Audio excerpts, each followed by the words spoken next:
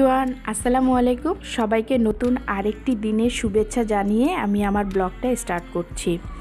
আশা করি সবাই অনেক অনেক ভালো আছেন। আমিও আলহামদুলিল্লাহ ভালো আছি।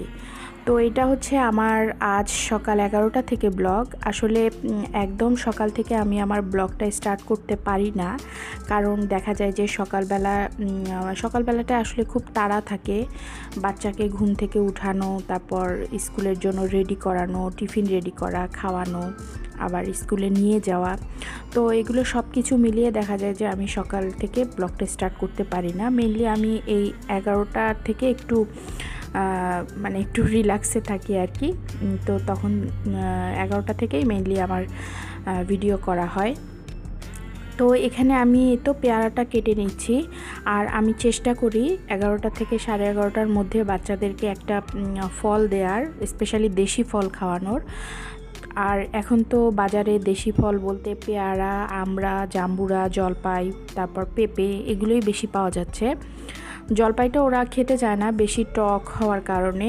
বাট জলপাইয়ের চাটনি বা দেখা যায় হালকা ঝাল দিয়ে আচার বানিয়ে দিলে তারপর হচ্ছে ওরা খায়। তো ওদেরকে আমি তো পেয়ারাটা দিচ্ছি। আমার ছেলে পেয়ারা মানে বলতেছিল যে ও নিজে নিজে নিয়ে খাবে।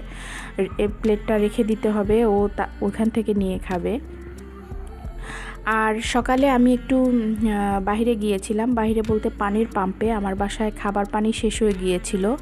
আমি পান পানির পাম্প থেকে পানি নিয়ে এসে তারপর সেটাকে ফিল্টার করে দেন মানে সে পানি খাওয়া হয় আমার বাসায়। আর এখন আমি যে এলাকায় বা মানে যে বাসাটায় থাকি, এখানে পানির, দেখলাম যে তেমন কোনো প্রবলেম নাই। পানির থেকে গন্ধও আসে না কোনো ব্লিচিংয়ের বাট মানে অভ্যাস হয়ে গেছে আর কি, পানির পাম্প থেকে পানি নিয়ে আসার। আর আগে যে বাসায় থাকতাম, সেই বাসার তো পানির যাতা অবস্থা ছিল মানে ব্লিচিংয়ের গন্ধে খাওয়া তো দূরের কথা মানে পানি দেখা যেত যে গোসল করা বা এমনি নর্মাল কাজে ইউজের জন্য মানে ওটা মানে খুবই বাজে অবস্থা ছিল পানির। খুব ব্লিচিংয়ের গন্ধ আসতো আর কীরকম যেন পানির কালার কালারটাও একটু অন্যরকম ছিল। তো যাই হোক, আমি আর যেহেতু পানির পাম্পটা আমার এই বাসা থেকেও কাছে হয়, তো এই জন্য আমার কাছে মনে হয় যে পানির পাম্প থেকে পানি নিয়ে এসে খাওয়াটাই মানে বেটার আর পানির পাম্প থেকে পানি নিয়ে আসার কাজ মূলত আমার হাজব্যান্ড করে থাকেন বাট দেখা যায় যে অনেক সময় হয়তো মানে মনেও থাকে না যে পানি শেষ হয়ে গিয়েছে বা ও হয়তো ব্যস্ত থাকে, তো এমার্জেন্সি কেসে দেখা যায় যে আমাকেই নিয়ে আসতে হয়। আর পানি নিয়ে এসে আমি কিছু সবজি বাজারও করেছিলাম। এখানে এই তো টমেটো, লেবু, তারপর কিছু জলপাই লাউ ধনেপাতা এগুলোকে কিনে নিয়ে এসেছি। আর অনেকে হয়তো মানে সুবিধার জন্য দেখা যায় যে এক সপ্তাহের বাজার একদিনে করে থাকে, বাট আমার যেহেতু একটা সুবিধাই আছে, আমার বাসার নিচেই হচ্ছে বেশ কয়েকটা সবজির দোকান। তো এই জন্য আমার কাছে মনে হয় যে দুই দিনের বা দুই দিন, একদিনেরটা নিয়ে আসাই বেটার আমার কাছে মনে হয়। আর একটু ফ্রেশ খেতেই আমি পছন্দ করি। তো এখানে তো সাধের লাউ কেটে নিচ্ছি, লাউ রান্না করব। আর বলা হয়ে থাকে যে লাউয়ের নাকি সব মানে পুরোটাই খাওয়া যায়, বিচি, খোসা, সমস্ত কিছু। তো আসলেই তাই। আর লাউটা হচ্ছে শরীরের জন্য অনেক মানে উপকার আর কি। বিশেষ করে যাদের কোষ্ঠকাঠিন্যতা আছে তাদের জন্য খুবই ভালো। আর লাউটা মূলত আমরা বাসায় সবাই খুব পছন্দ করি। এই জন্য দেখা যায় তো শীত এসেছে, আমার প্রায়, প্রায়ই এই লাউটা রান্না করা হবে। আর এই লাউয়ের খোসাটা এত কচি ছিল মানে লাউটাই এত কচি ছিল যে খোসাটা ছাড়াতেও মানে কষ্ট হচ্ছিল, খোসাটা হাসতেই চাচ্ছিল না মানে এতটা স্কিন পাতলা ছিল লাউ, লাউয়ের। আর ভাবলাম যে লাউয়ের এই তো স্কিনটাকেও আমি ভর্তা করে ফেলব, বাদাম দিয়ে বেশি করে রসুন, তারপর কাঁচামরিচ, পেঁয়াজ দিয়ে। আর এই লাউয়ের খসা ভর্তাটা আমার এবং আমার হাজব্যান্ড দুজনেরই খুব পছন্দ। আর এখানে আমি তো ধনে পাতাগুলোকেও একটু কেটে বেছে পরিষ্কার করে নিচ্ছি। রান্না করতে মূলত কিন্তু সময় লাগে না বাট রান্নার আগের যে পূর্ব প্রস্তুতি, এটাই হচ্ছে মানে এটাতেই সময় যায়। আর এটা, আর বাজার করে নিয়ে আসার পর যদি জিনিসগুলোকে একটু ভালোভাবে গুছিয়ে, কেটে বেছে, সুন্দর করে রাখা যায়, তাহলে আমার মনে হয় যে পরবর্তী দিনের জন্য মানে সুবিধা আর কি। তো আমি এখানে ধনে পাতাগুলোকে মানে এখানে তো অনেক ধনে পাতা ছিল, আমি কিছুটা ফ্রিজের জন্য রেখে দিয়েছি, আর আজ রান্নার জন্য যেগুলো আমি ইউজ করব, তো সেগুলোকে আমি এখানে কুচি করে নিচ্ছি।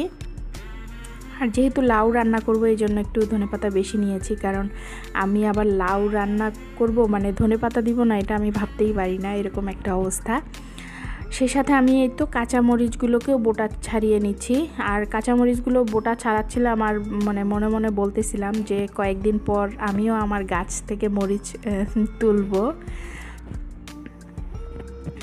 আর রান্নার আগে যদি এই কাটা বাছার কাজটা করা যায়, দেখা যায় যে রান্নাটাও খুব দ্রুত হয়ে যায়। তো এখানে আমি এই জন্যই কেটে বেছে নিচ্ছি। আর এর ফাঁকে ফাঁকে আমি রুটিও করে নিয়েছিলাম। বেসিক্যালি আমার বাসায় আজ সকাল থেকেই রুটি শেষ হয়ে গিয়েছে। যেহেতু কাল থেকে আবার রুটি লাগবে, তো এই জন্য ভাবলাম যে রুটিটাও করে নিই। তো আমি তো সপ্তাহে দুই দিন রুটি করি। আমি কীভাবে রুটি সংরক্ষণ করি সেটার একটা ভিডিও আমার চ্যানেলে দেওয়া আছে।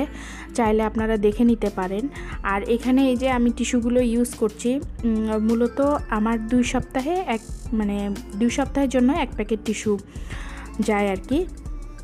আর টিস্যুগুলোকে যদি আবার ভালোভাবে সংরক্ষণ করা যায়, একটু পরিষ্কার জায়গায় বা ভালোভাবে সংরক্ষণ করা যায়, তাহলে কিন্তু এই টিস্যুটাই বারবার ইউজ করা যায়। তো আমি রুটিটাকেও করে নিলাম। আর রান্নার তো অন্যতম একটা অংশ হচ্ছে এই যে পেঁয়াজ মরিচ। আমি মাঝে মাঝে ভাবি যে পেঁয়াজটাকে আবিষ্কার করল যে তরকারিতে দিতেই হবে।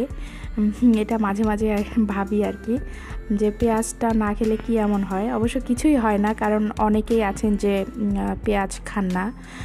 তো আমি এখানে পেঁয়াজ, মরিচটাকে কেটে নিচ্ছি আর একটা টমেটো নিয়েছি, এখানে টমেটোটা কুচি করে নিব। আর ভেবেছি যে আমার তো রান্নাটা হচ্ছে মূলত রাতেই করা হয়। দিনে আমার রান্না করা হয় না, বাট যেহেতু কাল থেকে আমার মেয়ের পরীক্ষা, আমার মেয়ের জন্য সবাই দোয়া করবেন। তো ওকে নিয়ে ভেবেছি যে একটু রাতে পড়তে বসাবো। কাল যেহেতু পরীক্ষা, তো দুপুরের দিকে যদি আমার রান্নাটা করা থাকে, তাহলে হচ্ছে রান্নার টেনশনটা অন্তত থাকবে না। এই জন্যই আর কি আজকে দুপুরে একটু তারা মানে তাড়াহুড়া করে রান্নাটা করছি। আর রান্না তেমন কিছুই করব না, শুধু লাউ রান্না করব, চিংড়ি মাছ দিয়ে, আর ডিম ভুনা করব। নর্মালি ডিম ডিম ভুনা আমাদের বাসা সবারই খুব পছন্দ বাট কেন যেন প্রায় দুই আড়াই মাস থেকে কোনো ডিম ভুনা খাওয়া হচ্ছে না। ডিম ভাজি খাওয়া হচ্ছে বাট ডিম ভুনাটা খাওয়া হচ্ছে না, তো ভাবলাম যে আজকে ডিম ভুনা করব, ঝটপট রান্না। আর আমি আসলে আমার ব্লগে দেখা যায় যে রান্নাটা দেখাই না আমি তো অনেক আগে থেকেই ব্লগ দেখি মানে সবারই কম বেশি ব্লগ দেখা হয়। তো দেখি যে সবাই রান্নাটা দেখান। তো আমিও ভাবছি যে দেখাবো রান্না, আস্তে আস্তে দেখাবো। আর আমার আসলে এগুলো দেখাতেই দেখা যায় যে অনেকটা মানে ভিডিওর অনেকটা সময় চলে যায়। তো ভবিষ্যতে হয়তো রান্নাও দেখাবো। তো এখানে আমি এই তো চিংড়ি মাছটাকেও ভিজিয়ে দিয়েছিলাম আর ওগুলোকে রান্নার জন্য সব প্রিপেয়ার করে তারপর হচ্ছে আমি ঘর গোছাতে চলে এসেছি। নর্মালি ঘরটা আমি সকালের দিকেই গোছানোর চেষ্টা করি বাট আজ এই যে পানি আনতে গিয়েছিলাম সব কিছু মিলিয়ে আর করা হয়নি। তো আর সকালে আমি মেশিনে কাপড় দিয়েছিলাম, কাপড়গুলো অল এর মধ্যে শুকিয়েও গিয়েছে। আমি ছাদ থেকে তুলে নিয়ে এসে কাপড়গুলোকে গুছিয়ে রাখলাম। এই তো প্রতিদিনই তো বিছানা করাটা দেখাই প্রায় দেখাই, তো আজ আর দেখালাম না। জাস্ট করার পরের লুকটা দেখালাম। আর এইদিকে এই যে আমার মেয়ে পুরা ওর বিছানা এলোমেলো করে ফেলেছে। ইদানিং আবার সে যখন তখন মানে পড়তে বসে আর কি। তো রুমটাও গুছিয়ে নিচ্ছি। এর মধ্যে এই তো রান্নাও করে ফেলেছি। এটা হচ্ছে এই যে লাউ দিয়ে চিংড়ি আর ডিম ভুনা। ডিম ডিমটাকে হচ্ছে পেঁয়াজ বাটা দিয়ে আমি ভুনে ফেলেছিলাম।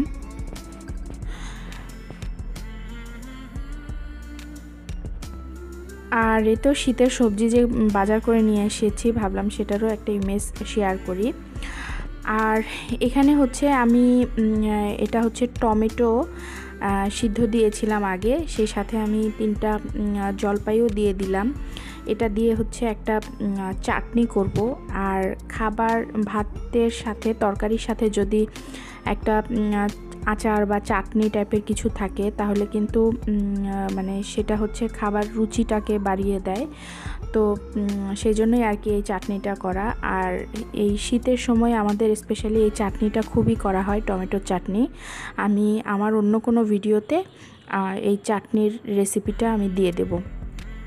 তো আমার আজকের এই ভিডিওটি আজ এই পর্যন্তই। সবাই ভালো থাকবেন।